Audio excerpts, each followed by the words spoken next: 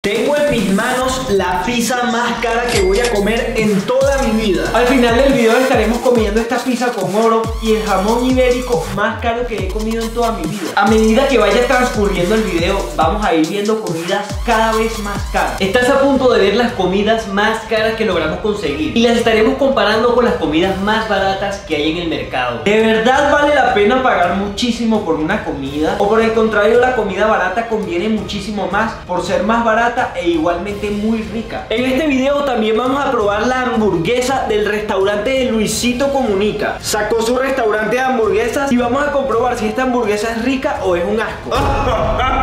No sé si me agrada este sabor. Lo siento mucho, Luisito, pero seré muy sincero. Estuvimos buscando bastante para conseguir la hamburguesa más cara de la ciudad y por suerte la búsqueda no fue en vano. Conseguimos un lugar donde venden hamburguesas gourmet de muy alta calidad y además están bañadas en oro de 24 quilates. Esto es demasiado lujo, esto es absurdo. Si esto no te parece excesivamente lujoso y caro, ya no sé qué decirte amigo. El lugar se llama Toro McCoy, tiene una ambientación de vaqueros, incluso te dan unos sombreritos de vaquero para que te lo pongas y es simplemente un lugar hermoso. Pero bueno, no perdamos más tiempo, veamos la legendaria hamburguesa de oro de 24 quilates. De repente comenzó a sonar una música súper épica, nosotros no sabíamos qué estaba pasando. Se empezaron a apagar y a prender las luces y de pronto llegó esta chica vestida de india con dos brillantes hamburguesas de oro de 24 quilates. La hamburguesa se veía simplemente preciosa, era como si fuera una joya hecha comida. muy buena esta presentación, es de agradecerse. Y por si se lo están preguntando, no te puede pasar nada malo por comer oro, no es tóxico. Pero definitivamente cuando lo comes no lo vas a digerir. Tengo oro en mi dedo y estoy a punto de probar el oro puro. A ver a qué sabe. Pareciera que nos fuéramos a comer un moco. Un moco muy caro. Mm. Y sabe a metal. Se siente un leve saborcito a metal. Igual les informo que el oro no se digiere. Así que luego de que comamos esta hamburguesa, vamos a hacer caca con oro. Hoy se va al baño y se hace caca dorada. Mi caca hoy valdrá mucho dinero. Pero bueno, llegó el momento de probarla. Así que le pegué un buen mordiscazo y estaba muy deliciosa. Y más allá de una hamburguesa con oro, es una hamburguesa de muy alta calidad. Estaba simplemente muy rica. Tienes un poco de oro en tus labios. Oh. Oh, oh. Estoy seguro que muchas personas estarán queriendo besarme en este momento. es hora de comparar esta hamburguesa muy cara con la hamburguesa más barata que logramos conseguir en nuestra ciudad. Hay que decir que estuvimos buscando muchísimo, pero de pronto conseguimos esta hamburguesería en donde te vendían una hamburguesa por 2 dólares. Muy barato. Evidentemente, como pueden ver, no era un lugar súper elegante. De hecho, estaba en la calle, pero hey, bastante respetable para los precios que tenían. Pedimos la hamburguesa, tenía su salsa, sus vegetales, su carne. Aunque debo decir que la carne sí se veía un poco sospechosa, pero no sé si es que la estoy prejuzgando. Debemos probarla. La carne no está tan rica, el pan está un poquito seco, pero sabe bien. Bueno, o sea, ¿qué puedes esperar por una hamburguesa tan barata? No te puedes quejar. Lo que sí es bueno es que yo creo que con una de estas sí quedas resuelto. Con eso te matas el hambre por lo menos un rato. Ok, nos acaba de llegar, llegó rápido. La hamburguesa de Luisito Comunica, bastante decente y aquí dice México, Colombia y Perú. Bueno, vamos a hacer un unboxing. Trae su sellito de seguridad. La bolsita está bastante buena. Lo primero que vemos son las papitas. Vienen sazonadas con algo. Vamos a probarlas. Traen ahí su salsita también.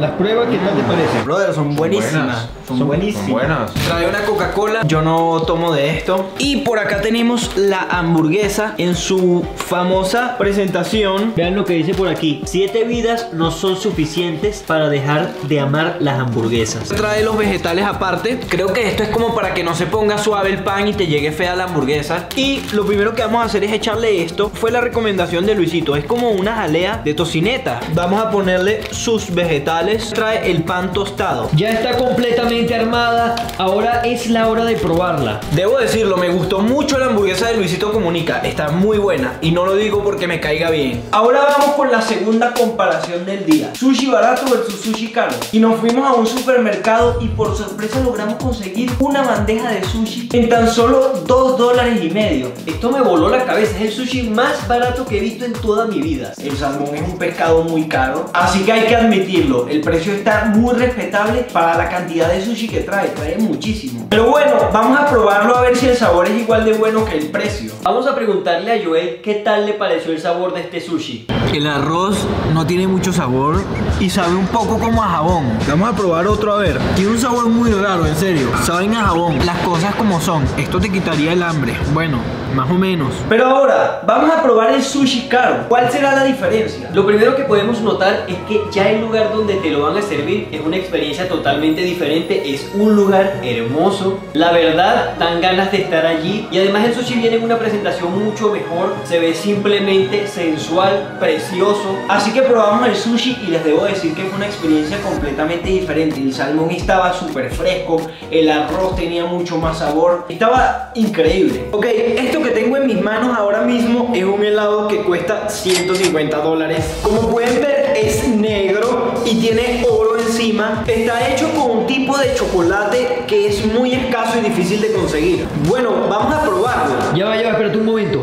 Déjame hacer unas tomas épicas y después lo pruebas.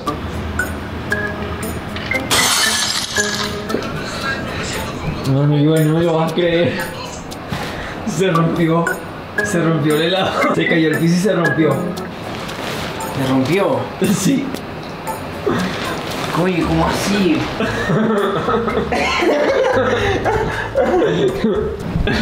No vale, una broma. Yo decía, o sea, tiró es- esa cantidad de dinero al piso. Ya le hiciste las tomas, quiero probarlo. Sí, ya le hice las tomas. Ahora sí, vamos a probar este helado estúpidamente caro. ¿Valdrá la pena pagar tanto por un helado? Vamos a verlo. Ok, ok. A ver. Madre mía. Mm, ¿Qué tal está? está muy fuerte. Oh. No sé si me agrada este sabor. ¿No te gustó? Está muy amargo, Bruno. No, el piso. Dios mío, no. Estás ensuciando el piso de chocolate súper caro. Wow, es muy cremoso, pero está muy amargo. No me gusta. ¿Qué? No, pagamos demasiado dinero por eso. Ay, Sabe, sabe feo, sabe feo. Tienes que comértelo, pagamos mucho por ese lado. No me gusta. Para diferenciar un buen helado de un mal helado, lo puedes ver en la cremosidad. Un helado malo generalmente le vas a ver que tiene cristales de hielo. Esto sucede porque se congeló mal. Para congelar correctamente un helado que quede cremoso y que no quede lleno de cristales de hielo, hay que congelarlo a temperaturas súper bajas, en unas neveras especiales y muy costosas, que hacen que el helado se congele súper rápido y no da tiempo de que se creen estos cristales. Vean esto, es un helado para perros. ¿Será que a Maní le va a gustar esto? Vamos a dárselo a ver. Bruno, ¿qué tal si lo pruebas primero tú? No quiero probarlo, pero le voy a dar una lamida. Está bueno. Está rico. Certifico que esto sabe bien. Ahora vamos a ver si a Maní le gusta su helado. Maní, mira. Mira, heladito. ¡Ay, le gustó! Cabe destacar que este es un helado que se crea con productos que no son dañinos para tu perro. Me hace mucha gracia los mordisquitos que le da, vean eso.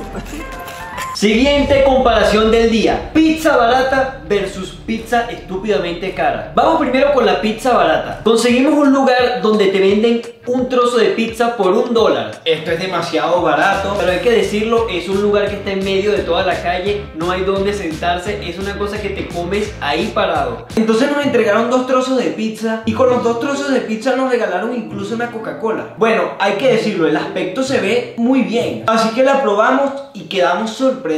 O sea, a pesar de lo barata que era, estaba muy buena. Tenía bastante queso, tenía bastante salsa, la masa estaba bastante rica. Mi respeto para la pizza de un dólar está muy rica. Pero bueno, ya habiendo visto eso, vamos con la pizza estúpidamente cara. Esta pizza nos costó 200 dólares. Esto porque supuestamente los ingredientes son de muy alta calidad y supongo que sí es cierto. La harina que utilizaron es una harina importado que parece que es el mejor para hacer pizzas. Bueno, estamos listos para probarla. ¿Cómo te sientes de que estás a punto de comerte 200 dólares? Mucho dinero.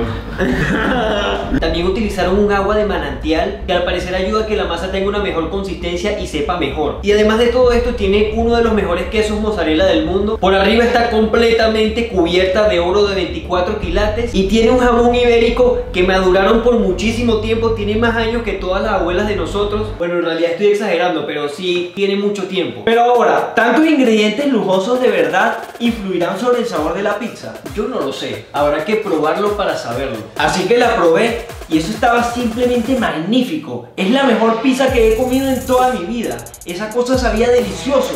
Dios mío, está buenísima. Era simplemente un poema en tu boca. Pero la verdad, para serles sincero, no creo que valga la pena pagar 200 dólares por esto. Es una de las mejores pizzas que he comido en mi vida. Está muy deliciosa, pero no sé si vale los 200 dólares, la verdad. Creo que es demasiado dinero para gastarlo solo en una pizza. Pero bueno, creo que así se divierten los ricos.